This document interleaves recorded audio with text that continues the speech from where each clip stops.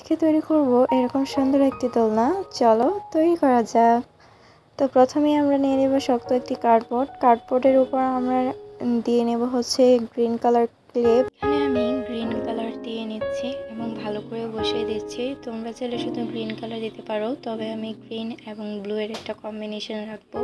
Blue কালারও আমি সেমভাবে এরকম রাউন্ড শেপের করে নেব। তো এটা পুরোটা আমাদের খালি না থাকে। তো এটাতে যেন একটা ঘাস ঘাস ইফেক্ট আসে সেই জন্য আমি একটা টুলস দিয়ে এটাকে ঘাসের মতো করে নিলাম। তারপর আমি ঘাস ইফেক্ট দেওয়ার পর আমরা কাগজ রোল করে নেব। কাগজ হচ্ছে আমাদের এরকম রোল করে নিতে হবে এবং তিনটি স্ট্যান্ড বানিয়ে নিতে হবে কাগজের। তবে দুইটি স্ট্যান্ড হবে সমান, তো আমি দুইটা স্ট্যান্ড লাগিয়ে নিলাম এবং তৃতীয়টি হবে একটু ছোট। তো এটা গ্লু দিয়ে গ্লুয়ের সাহায্যে আমরা অ্যাটাচ করে নেব ভালো করে। তারপর দেখতেই পারছ আমাদের দোলনার স্ট্যান্ড তৈরি হয়ে গেছে। তারপর আমি লতা বানিয়ে নেব যেন স্ট্যান্ডের উপর লতাগুলো পেঁচিয়ে আছে, এরকম একটা ইফেক্ট দেওয়ার চেষ্টা করব। তারপর আমরা ফ্লাওয়ার বানিয়ে নেব, পাঁচটি গোল গোল বল তৈরি করব।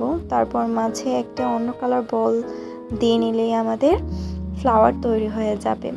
তো ফ্লাওয়ারটা বানিয়ে আমি এই লতা যে বানিয়েছি, এটার উপর দিয়ে নেব। আমার এখানে কোনো গ্লু লাগছে না, কারণ আমার ক্লেটা অলরেডি একটু ভেজা ভেজা আছে, সেই জন্য আপনা আপনি লেগে যাচ্ছে। তো যদি আমার ভিডিওটি ভালো লাগে থাকে, তাহলে লাইক কমেন্ট শেয়ার করে দিও। আমার চ্যানেলটা সাবস্ক্রাইব করে দিও। তো আমি এখানে পাতা বানিয়ে নিয়েছি যেন বিষয়টা আরও রিয়েলিস্টিক মনে হয়। তো এখন যে আমরা দোলনা সিটটা তৈরি করব সেটা হচ্ছে যেন একটু রিয়েলিস্টিক লাগে, সেই জন্য টুলস দিয়ে আমি এরকম ডিজাইন করে নিচ্ছি। তারপরে এই সিটের আমরা দড়ি নিয়ে নেব। দড়ি নিয়ে এই সিটের ভেতর হচ্ছে আমরা ভালো করে গেঁথে দেব। তোমরা আই হোপ দেখলেই পারবে। তো এরকম দোলনা তোমরা বানিয়ে বাড়িতে সাজিয়ে রাখতে পারো। খুবই সুন্দর। তো আমার দোলনাটি বলতে বলতেই তৈরি হয়ে গেল। তোমাদের ভালো লাগলে অবশ্যই কমেন্টে জানিয়ে দিও যে তোমরা এরকম ক্লিয়ার ভিডিও আরও দেখতে চাও কিনা। তো বাই বাই